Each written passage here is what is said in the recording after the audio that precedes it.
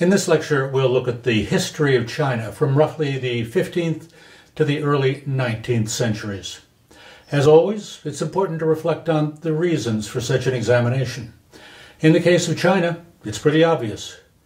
Economically and politically, China's growing importance is quite likely to make the 21st century a Chinese century. So it's imperative that we understand China's past to better appreciate Sino American relations in the present. Let's start with the two empires that created the foundations of modern China, namely the Ming and Qing dynasties. Here are maps that show their boundaries. The Ming dynasty lasted from 1368 to 1644, and the Qing dynasty held the imperial throne from 1644 until 1911, when a revolution ended Qing rule. Taken together, these two dynasties span over 500 years, yet they're just a sliver of Chinese history when taken in its totality. Keep in mind that China has a recorded history that goes back over 2,000 years to the Qin dynasty, where our word China originates. As we examine Chinese history, you'll acquire a sense of its enormity and how the Chinese perceive it. With empires coming and going, rising and falling, there developed in China the view that history is a vast cycle, with China literally in its middle. Hence the notion that China is the middle kingdom or center of civilization, the axis about which everything else revolves. This Sinocentric perspective is what the Chinese adopted when looking at outsiders, whom they contemptuously deemed Siyi, or barbarians. The social and moral basis of Chinese culture, as well as a key to understanding its history, is the philosophy known as Confucianism, which consists of several fundamentally humanistic beliefs. The first is the belief known as Xiao, which we can translate as loyalty to one's parents, but also fidelity and respect for elders, ancestors, and older siblings. In other contexts, we would refer to filial piety, the obligation that sons and daughters feel toward their parents. Confucianism also extended Xiao to include loyalty to the state exemplified at the highest level by the emperor's responsibility to rule wisely and rule well. If the emperor lost that ability, or lost the willingness to rule wisely and well, then the dynasty would endanger itself and its citizens.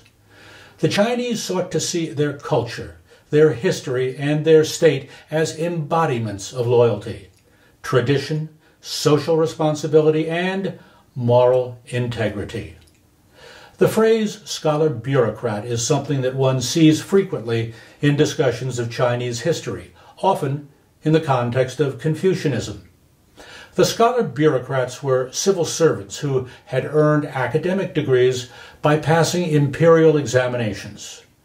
Also known as mandarins, the scholar bureaucrats adjudicated minor legal disputes, supervised community projects, adjudicated local laws, and oversaw Confucian ceremonies, as well as collecting taxes and expounding Confucian moral teachings.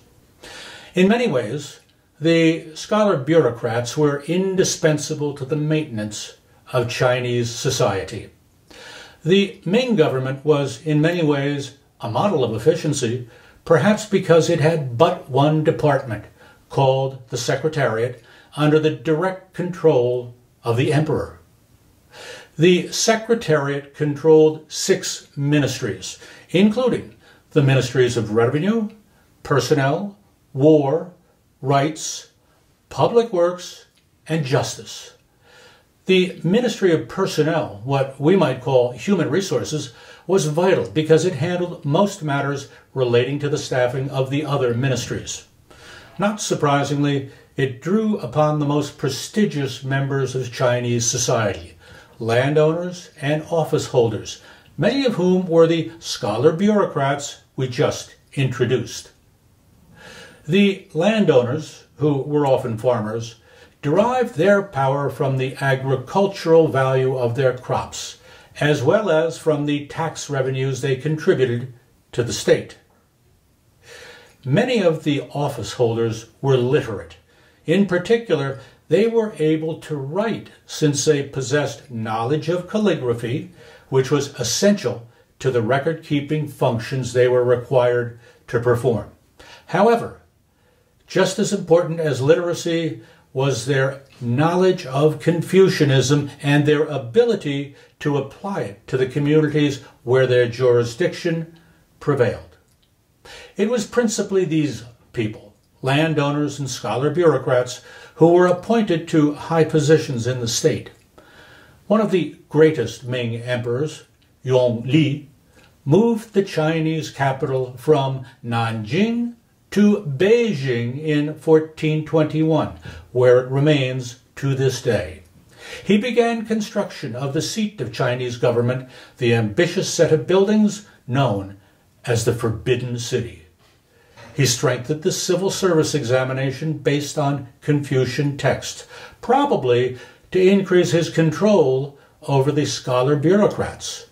He also extended the Great Wall and commissioned the Yongle Encyclopedia, an enormous compendium of texts that included all that had been written on the Confucian canon, as well as all previous Chinese history, philosophy, arts, and sciences.